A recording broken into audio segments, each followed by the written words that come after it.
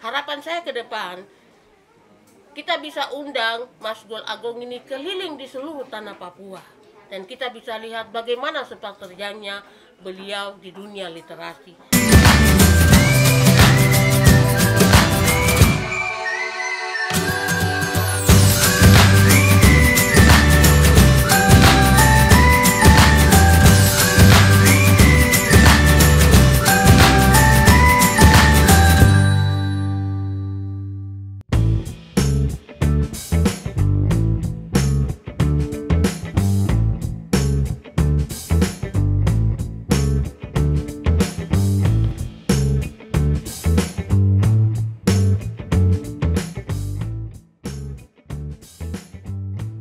Apa kabar?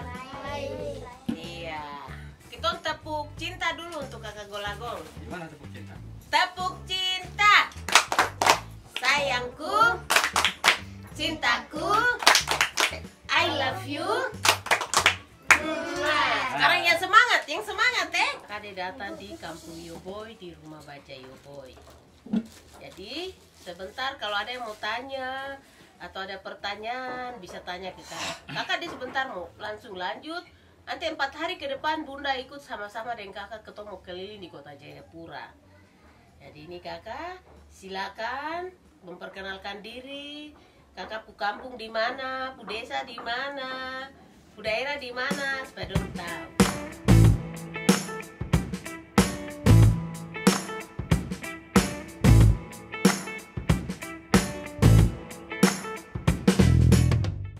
Setelah di tangannya diamputasi, kakak baca buku. Hmm. Kakak punya perpustakaan di rumah bapak. Jadi tiap hari kakak baca buku. Hmm, Sama olahraga. hmm, Olahraganya badminton. hmm.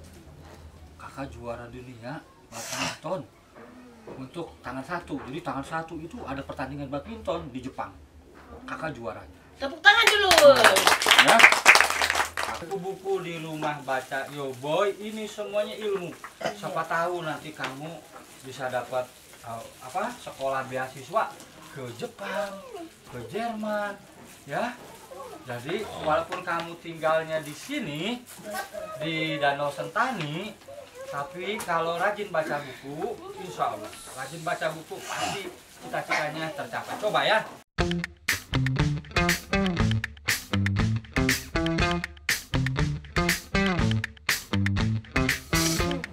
Saya Golagong, Duta Baca Indonesia, sedang berada di Danau Sentani. Ini kampung apa, Mama? Kampung Yoboy, Kampung Tarapu. Kampung Yoboy, Kampung Terapul ini Mama Hani Vele peraih anugerah Nugra Jasa Dharma untuk masyarakat ya dari Perpustakaan Nasional tahun 2023. Ini anak-anaknya dapat buku dari Si Publishing dan Wow Media juga Bina Media. Terima kasih ya. Mudah-mudahan dibaca ini uh, rumah baca Yoboy ini oase di Danau Sentani. Orang-orang bisa belajar di sini. Ayo datang ke Danau Sentani kalau mendarat di Sentani.